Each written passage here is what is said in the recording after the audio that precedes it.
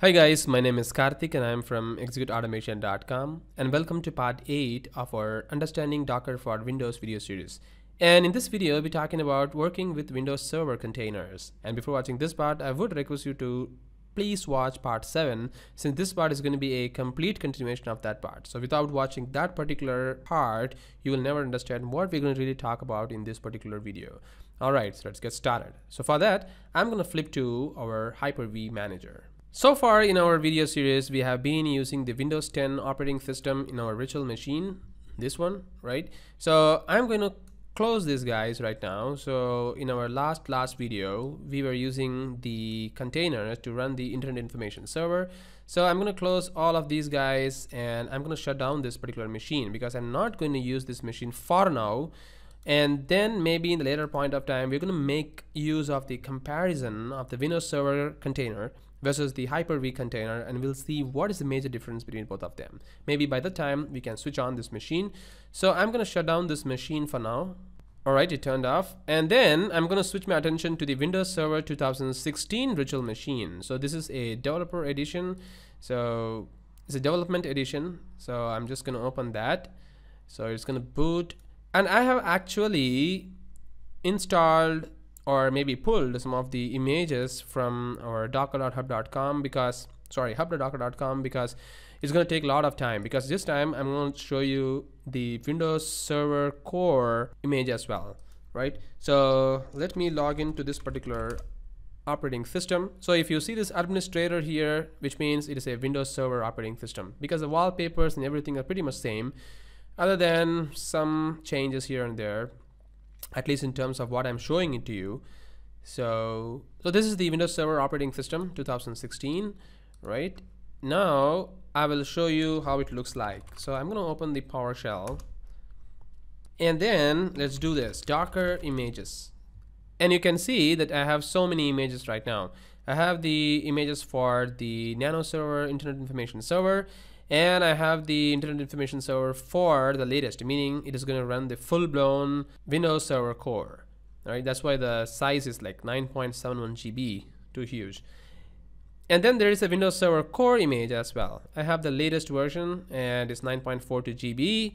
And there is a Nano server and there is a Microsoft SQL Server Express edition, right? So I have everything. I have all these images downloaded for this demonstration purpose so that we don't really have to waste our time, at least in terms of downloading.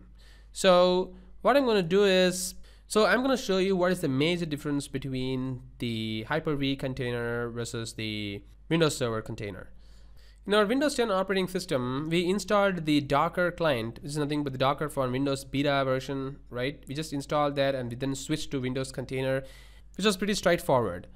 And in Windows Server, it is going to be even more faster than the one which we did before. And the reason is because we are actually going to download or maybe use the Docker daemon alone. So there is two things. One is Docker and then is another one is called as Docker daemon. So we actually require only these two processes in Windows Server instead of the full beta version of the Docker for Windows. So if it really doesn't make any sense what I'm really talking about, so let me go to the browser. I think I have Chrome because server has too many securities. So Docker for Windows Server 2016. And if you go here, there is something called as Windows Container on Windows Server 2016. If you go here, you can come here and you can see that there is something called as install docker. And you can see this time the docker installation is pretty straightforward. All you have to do is you need to install the docker using the OneGet provider PowerShell module. And this is going to contain the docker daemon. Pretty straightforward. And you can see there is something called as install module docker msft provider repository ps gallery and force. And then you need to install the Docker MSFT provider, restart your machine, and then you need to install the Windows update if you want because sometimes even though this is the latest operating system, there are some updates for the Docker for Windows. So I, I actually did all these things. Only then you can see this Docker images here, right? So I actually did everything from this particular page. the Windows Server container and there's a quick start, quick start Windows Server. So this is the link which I used for installing the Docker.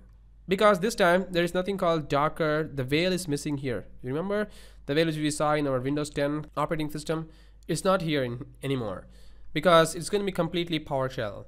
And you can just go to the task manager let's go to the more detail you can see there is something called as docker d.exe so only this particular process is currently running the docker d is nothing but the docker daemon process. That's it. And there is no other process actually running for the docker. Only this particular process is running. And then windows server 2016 is going to take care of everything right? So as i said please install the module for the docker msft provider and then this and then restart the computer. That's it. And if you want to see what's really happening behind the scenes, if you just go to the OneGet provider of the PowerShell module, it's going to take you to the GitHub and you can see that this is the package manager for the OneGet and OneGet is more like a NuGet package manager for PowerShell, something like that.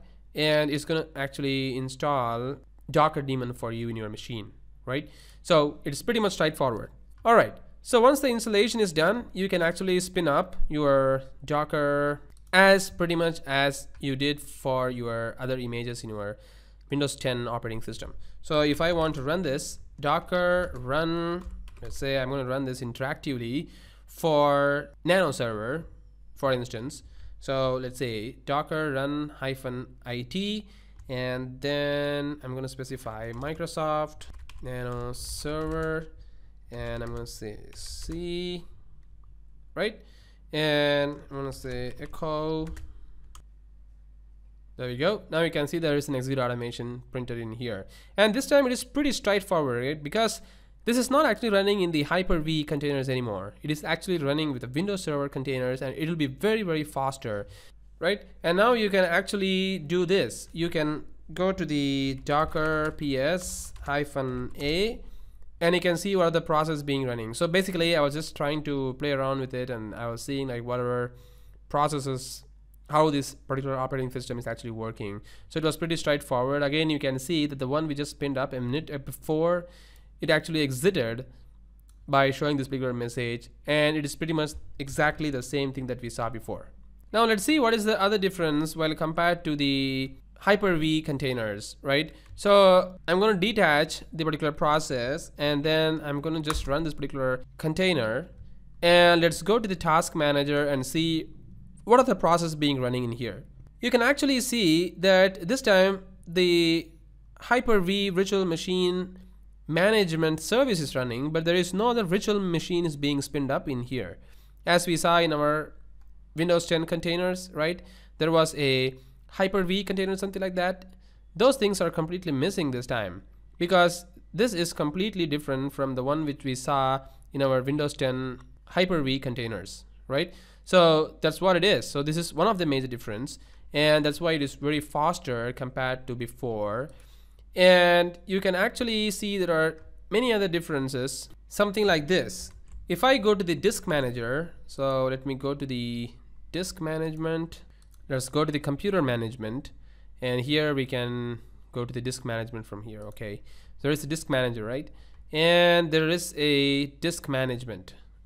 So this disk management actually you can see that within this disk management right now I have a C colon but what if I do this? What if I try to do something like this? Maybe instead of this daemon process let's try to run this as an interactive process so that it don't close the particular container being running. And it's going to take some time. And now if you go to the disk management this time you can see that we had a disk 0 before but now we also have something called as disk 1 and it has something like a 19.87 GB of space with an NTFS partition. How is this suddenly coming in?